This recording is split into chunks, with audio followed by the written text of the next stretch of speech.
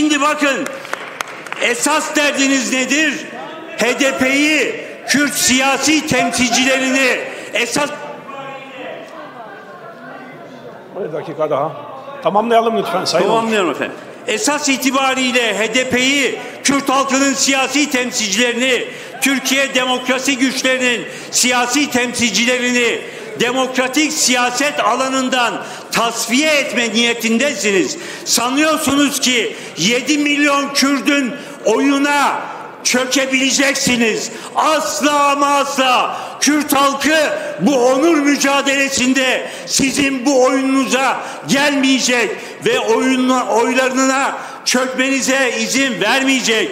Demokratik siyaset alanından HDP'yi tasfiye edemeyeceksiniz. Bunu bir kez daha vurgulamış olalım.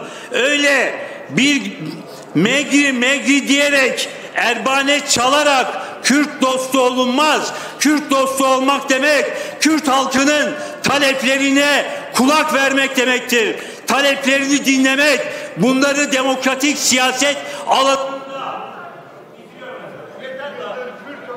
Evet bir ver bir dakika. Bu talep bitirdim lütfen. efendim. Bu talepleri demokratik siyaset alanında Ankara'da meclis platformunda yerine getirebilmek için bir diyaloğu, bir müzakereyi siyasi partiler arasında hep birlikte sürdürebilmek demektir. Ama siz ne yapıyorsunuz? Demokratik siyaset konusundaki kararlı olan bir partiyi demokratik siyaset alanından tasfiye etmeye çalışıyorsunuz. Asla bunu başaramayacaksınız. Buna asla ne Kürt halkı ne de Türkiye demokrasi güçleri izin vermeyecek.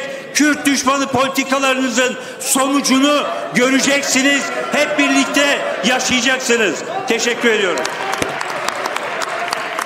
Sayın Özkoç.